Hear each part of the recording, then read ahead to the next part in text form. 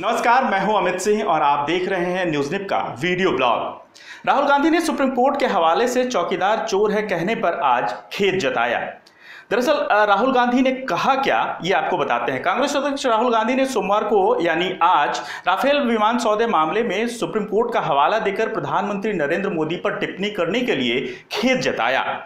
Supreme court का कहना था कि कांग्रेस अध्यक्ष अपनी टिप्पणी में उसका गलत हवाला दे रहे हैं। दरअसल, सुप्रीम कोर्ट ने 15 अप्रैल को साफ़ साफ़ कहा था कि राफेल मामले की सुनवाई के दौरान कभी भी सुप्रीम कोर्ट ने यह नहीं कहा था कि चौकीदार नरेंद्र मोदी चोर हैं। जैसा कि राहुल गांधी अपने बयान में ज़िक्र कर रहे हैं सुप्रीम कोर्ट का हवाला देकर। दरअसल यह पूरा मामला शुरू कैसे हुआ था? आइए आपको बताते हैं। प्रशांत भूषण और कुछ दूसरे लोगों ने राफेल मामले में सुप्रीम कोर्ट के पिछले फैसले पर पुनर्विचार याचिका सुप्रीम कोर्ट में दाखिल की। उन्होंने कुछ दूसरे डॉक्यूमेंट्स का हवाला देते हुए कहा कि इस मामले में दोबारा सुनवाई होनी चाहिए। सुप्रीम कोर्ट ने उन डॉक्यूमेंट्स को वैलिड मानते हुए उनकी पुनर्विचार याचिका स्वीकार कर ली। सुप्रीम कोर्ट ने कहा कि हाँ, इस मामले में दोबारा सुनवाई हो सकती है। इसी बात का हवाला देते हुए दरअसल राहुल गांधी ने कहा कि सुप्रीम कोर्ट ने भी मान लिया है कि चौकीदार चोर है, लेकिन सुप्रीम कोर्ट ने दरअसल ऐसा कोई भी बयान नहीं दिया था। सुप्रीम कोर्ट ने सिर्फ़ पुनर्विचार याचिका को स्वीकार किया था। दरअसल, इसके पीछे की कहानी यह है कि सुप्रीम कोर्ट के उस फैसले के बाद जब राहुल गांधी ने यह बयान दिया कि सुप्रीम कोर्ट ने मान लिया है कि चौकीदार चोर है, उसके बाद मीनाक्षी लेखी ने सुप्रीम कोर्ट में एक हलफनामा दाखिल किया, जिसमें उन्होंने कहा कि राहुल गांधी पर आपराधिक मामला दर्ज होना चाहिए और सुप्रीम कोर्ट की अवमानना का मामला दर्ज होना चाहिए, क्योंकि उन्होंने सुप्रीम कोर्ट के फैसले का गलत हवाला दिया। दरअसल सुप्रीम कोर्ट ने कहीं भी यह ज़िक्र नहीं किया था कि प्रधानमंत्री नरेंद्र मोदी राफेल मामले में दोषी हैं। सुप्रीम कोर्ट ने सिर्फ़ और सिर्फ़ पुनर्विचार याचिका को स्वीकार किया था। इसके बाद मीनाक्षी लेखी ने जो मामला सुप्रीम कोर्ट में याचिका दाखिल की थी। उसके बाद सुप्रीम कोर्ट ने 15 अप्रैल को कहा कि उसने कभी भी यह नहीं कहा है कि चौकीदार नरेंद्र मोदी चोर हैं। राहुल गांधी ने दरअसल हलफनामे में जो कहा वो आपको बताते हैं। राहुल गांधी ने अपने हलफनामे में लिखा कि मेरा बयान सियासी प्रचार की गर्मा गर्मी में दिया गया था। इस, इसे मेरे विरोधियों ने गलत ढंग से पेश करके जानबूझकर ऐसा जताया कि मैंने ये कहा हो कि अदालत ने कहा है कि चौकीदार चोर है। ऐसी सोच तो मेरी दूर दूर तक नहीं थी। यह भी साफ़ है कि कोई भी अदालत ऐसा कुछ कभी नहीं कहेगी।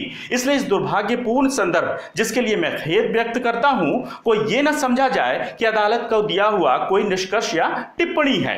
दरअसल राहुल गांधी ने अपने हलफनामे में आ, सीधे तौर पर माफ़ी मांगी अपने बयान के लिए जिसमें उन्होंने सुप्रीम कोर्ट का हवाला दिया था। हालाँकि उन्होंने ये कहना बंद नहीं किया कि चौकीदार चोर है। अपने हलफनामे के तुरंत बाद उन्होंने एक ट्वीट किया जिस ट्वीट में उन्होंने ये कहा आपको वो ट्वीट दिखा दिखाते हैं, जिसमें राहुल गांधी ने कहा है कि 23 मई को जनता की अदालत में यह फैसला होकर रहेगा कि कमल छाप चौकीदार ही चोर है, न्याय होकर रहेगा।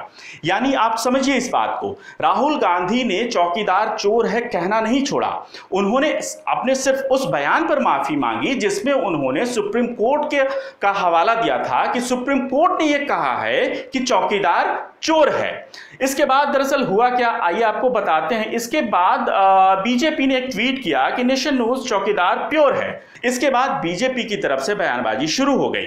इसके, सबसे पहला जो बयान सामने आया, उसमें डिफेंस मिनिस्टर निर्मला सीतारमन ने एक प्रेस कॉन्फ्रेंस किया और उसमें उन्होंने चौकीदार चोर है बयान पर राहुल गांधी का जो हलफनामा सुप्रीम कोर्ट में था, उसके आधार पर उन्होंने कहा कि बार बार झूठे बयान देकर राहुल गांधी खुद ही जनता के सामने विश्वसनीयता जो है खो रहे हैं। इसके बाद स्मृति ईरानी का भी ट्वीट आया। आपको दिखाते हैं कि स्मृति ईरानी ने दरअसल क्या ट्वीट किया है।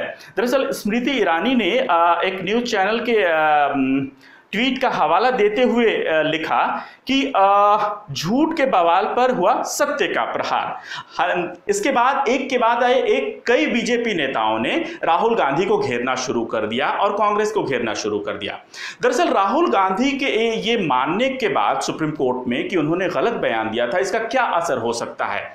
दरअसल आप समझिए इस हलफनामे के दो पहलू को। राहुल गांधी ने सुप्रीम कोर्ट का जो उन्होंने हवाला दिया था कि चौकीदार चोर है, ये सुप्रीम कोर्ट कहा, सिर्फ़ उस पर उन्होंने माफ़ी मांगी है। उन्होंने राहुल गांधी ने या कांग्रेस ने कहीं भी इस बात से इनकार नहीं किया, या कहीं भी इस बात पर वो डिफेंसिव होने को तैयार नहीं है कि चौकीदार चोर नहीं है। इसके दूरगामी परिणाम भी हो सकते हैं। चूँकि अभी दो फ़ेज़ के इलेक्शन ही हुए हैं, अभी पाँच फ़ेज़ के इलेक्शन होने हैं। अब सुप्रीम कोर्ट में इस राहुल गांधी के हलफनामे के बाद बीजेपी ज़ाहिर तौर पर हमलावर होगी और वो जनता के बीच जाएगी और ये कहेगी कि राहुल गांधी खुद ही अपने ही बयान से पलट रहे हैं। इसका साफ़ मतलब है कि वो झूठ बोल रहे हैं कि नरेंद्र मोदी ने राफेल मामले में कहीं कोई गड़बड़ी की है। देश, दुनिया और अपने आसपास की तमाम खबरें फटाफट अंदाज में पढ़ने और सुनने के लिए न्यूज़लिप ऐप ज़रूर डाउनलोड करें। न्यूज़लिप के इस वीडियो ब्लॉग में आज इतना ही।